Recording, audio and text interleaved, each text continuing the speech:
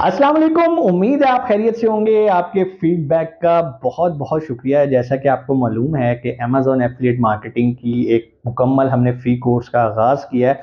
Paid trainings हमारी already चल रही होती हैं, लेकिन बहुत सारे लोगों की फरमाइश थी कि सर यूट्यूब पे जिस तरह आपने अमेजोन प्राइवेट लेबल का ड्रॉप शिपिंग का होलसेल का आर्बिट्राज का मुकम्मल कोर्स हमें दिया हुआ है, इसी तरह एफिलेट मार्केटिंग का भी एक यूट्यूब पे हमें फ्री कोर्स दें। तो आज उसी सिलसिले में हमारा लेक्चर कंटिन्यू है। मेरा तीसरा लेक्चर हमारा चल रहा है। लास्ट लेक्चर के अंदर हमने ये देखा था कि एफिलिएट मार्केटिंग करते हुए हमें किन प्लेटफॉर्म को यूज़ करना है।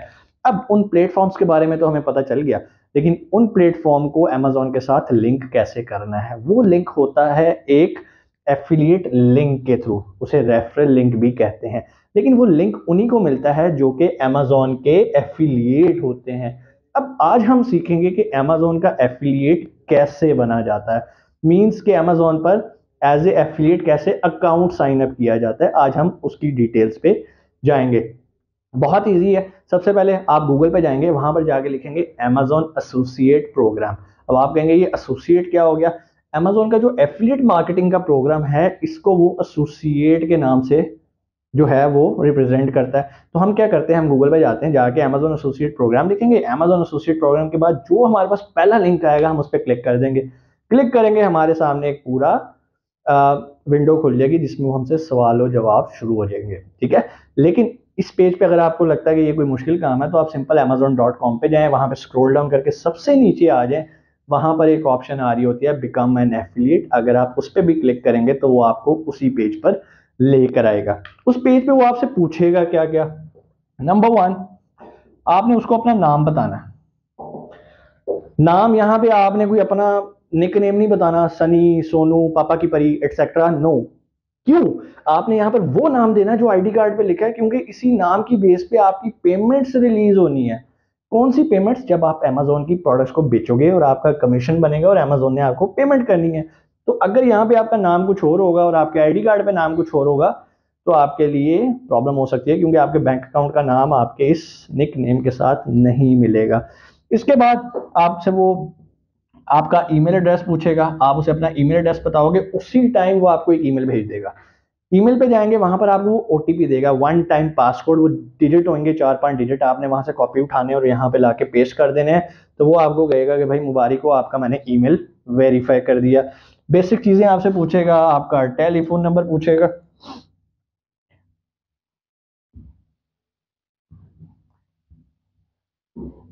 आपका जो है एड्रेस पूछेगा। एड्रेस आपने वही लिखना है जो आपका सी एन आई सी के ऊपर मौजूद है ताकि पेमेंट विड्रॉ के वक्त आपको प्रॉब्लम ना हो। एड्रेस के अंदर वो आपसे आपका पोस्टल कोड भी पूछेगा, जो कि मेरा ख्याल हम सबको पता होता है। अगर नहीं पता तो गूगल पे जाके अपने एरिया का नाम लिखें, वो आपको उसका पोस्टल कोड दे देगा। ये चीज़ें जब आप उसको दे देंगे ना तो आपका पहला सफ़ा तकरीबन मुकम्मल हो जाएगा। आप सेव करेंगे तो वो आपको नेक्स्ट पेज पे ले जाएगा। नेक्स्ट पेज पे जब आएँगे ना तो यहाँ पर सही काम स्टार्ट होएगा अब। ये तो बेसिक चीज़ें आपने उसे प्रोवाइड कर दी, उसने कहा ओके फाइन ठीक है जी, आगे आ जाओ। अच्छा यहाँ पर मैं एक चीज़ क्लियर करूँ। बहुत सारे लोग मेरे से सवाल करते हैं कि, सर, हमने ड्रॉप शिपिंग की है अमेजोन पे? हमारा अकाउंट सस्पेंड हो गया।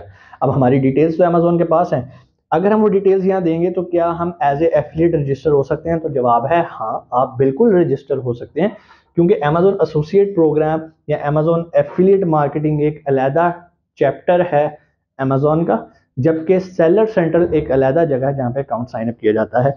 अगला सवाल आता है, सर, क्या पाकिस्तान से इस अकाउंट को साइन अप कर सकते हैं? बिल्कुल कर सकते हैं, ये तो आप उस वक्त भी कर सकते थे जब अमेजोन ऑफिशियली पाकिस्तान में था ही नहीं। तो एज ए एफिलिएट आप दुनिया के किसी भी पार्ट में हैं, आप अमेजोन पे रजिस्टर हो सकते हैं। यहाँ तक क्लियर हो गया। उसके बाद जो अगली चीज़ वो आपसे पूछता है ना, वो आपसे पूछता है कि भाई, आप मेरे एफिलिएट बनना चाहते हो? आपके पास प्लेटफॉर्म्स कौन कौन से हैं? ठीक है? आप उसे बताते हो, भाई, मेरे पास वेबसाइट है। कैसे बताते हो? अपनी वेबसाइट का लिंक देते हो, ठीक है? फिर आप उसे बताते हो, ये मेरा एफबी पेज है। ये मेरा इंस्टाग्राम का है। ये मेरा टिकटॉक का है एटसेट्रा एटसेट्रा अगर आप गेम, आप डेवलपर हो और आपकी कोई एप्लीकेशन है तो आप यहाँ पर अपनी एप्लीकेशन का भी लिंक दोगे, जिसके थ्रू आप मार्केटिंग करोगे. बेसिकली वो आपसे क्यों पूछ रहा है? वो जानना चाहता है कि यार आप मार्केटिंग कैसे करोगे मेरी, मेरे प्रोडक्ट्स की? तो आप उसे बताते हो कि भाई मैं वेबसाइट के थ्रू करूँगा, मैं इसके थ्रू करूँगा इंस्टाग्राम के थ्रू करूँगा टिकटॉक के थ्रू करूँगा वट आप यूट्यूब के थ्रू करोगे, जितने भी आपके पास ऑफिशियल लिंक्स मौजूद हैं, वो आप यहाँ पर दे दोगे. उसके बाद अगला क्वेश्चन वो आपसे जो पूछेगा, वो कहेगा, यार अच्छा आपके व्यूज़ कितने हैं? आपकी ट्रैफ़िक कितनी है? आपके इन प्लेटफॉर्म पे कितनी ऑडियंस आती है? मिसाल के तौर पे आपने रैंडमली उसे लिंक्स तो दे दिए, लेकिन आपका कोई व्यूअर ही नहीं है, आपको कुछ जानता पहचानता ही नहीं है तो आप कैसे मार्केटिंग करोगे? ठीक है? तो आप उसे बता दोगे कि जितने भी वो आपसे पूछेगा ऑनेस्ट जवाब देना, क्योंकि वो उसे ट्रैक कर लेगा। उसके लिए चेक करना कोई मसला नहीं है। आपने व्यूज़ के बारे में बता दिया या ट्रैफ़िक के बारे में बता दिया कि कितनी ट्रैफ़िक आ रही है? उसके बाद वो पूछेगा कि आप किन कैटेगरीज में बेचना चाहते हो। डिफरेंट आपको ऑप्शन दे देगा। कोशिश करो सारों को सिलेक्ट कर लो।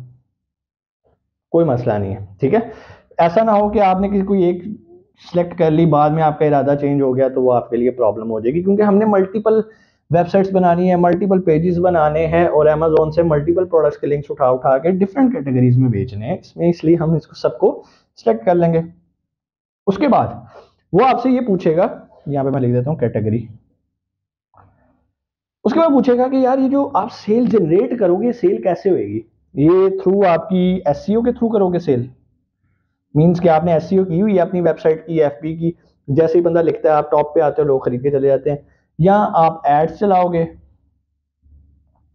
या और भी वो आपसे तीन चार ऑप्शन पूछेगा तो जो भी आपकी ऑप्शन होंगी, आप उसका, उसे आंसर कर सकते हो। आप कह सकते हो कि जी, मैं एस e के थ्रू आपकी मार्केटिंग करूँगा और आपको सेल जनरेट करके दूँगा। ये कुछ बेसिक चीज़ें हैं, वो आपसे पूछेगा, आपने उसको आंसर कर देना है, कोई टेंशन कोई परेशानी वाली बात नहीं है। उसके बाद जब आप सेव और नेक्स्ट करेंगे तो वो आपसे आखिर पे दो चीज़ें पूछेगा। Number one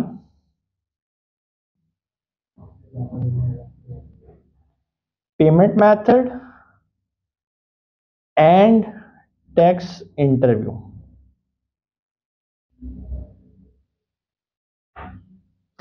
अब जब भी इंटरव्यू की बात आती है ना तो पाकिस्तानियों की तो वैसे ही हवाइयाँ छूट जाती है ना। वो कहते हैं वो इंटरव्यू देना पड़ेगा। पता नहीं क्या हो जाएगा। भाई, कुछ भी नहीं होगा। इस स्टेज पे आप इस, चाहो तो इस स्टेप को स्किप भी कर सकते हो, लेकिन मैं आपको रिकमेंड नहीं करूँगा कि आप इसको स्किप करो आज नहीं तो कल आपको ये काम करना ही है अपने अकाउंट को एक्टिव करने के लिए। सबसे पहले हम इसको डिस्कस कर लेते हैं। टैक्स इंटरव्यू क्या होता है? टैक्स इंटरव्यू के अंदर वो आपके बेसिक क्वेश्चन करेगा। नंबर वन पहला सवाल होगा आप इंडिविजुअल हो या एज ए बिज़नेस अपना अकाउंट रजिस्टर करवाना चाह रहे हो। चूँकि हम पाकिस्तानी एज इंडिविजुअल जा रहे हैं तो हम वहाँ पे इंडिविजुअल को सिलेक्ट कर देंगे।